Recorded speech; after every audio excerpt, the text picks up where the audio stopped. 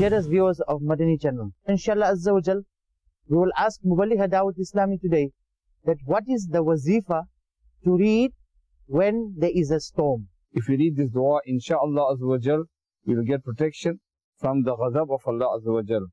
So the dua is, اللهم إني أسألك خيرها وخير ما فيها وخير ما أرسلت به وأعوذ بك من شرها وشر ما فيها وشر ما أرسلت به and translation, very beautiful.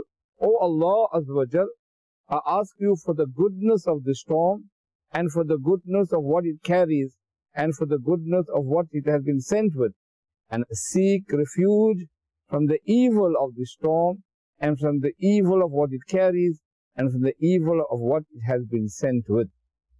Try and get yourself a copy of Madani Panj Surah. You can get the physical copies from our Maktaba of Dawat Islami or download it from www.islami.net. Inshallah, you'll have all these beautiful and very beneficial wazifas or wazaifs and du'as at hand. And this will help you at the time of need. Sallu ala al-Habib, sallallahu ala Muhammad.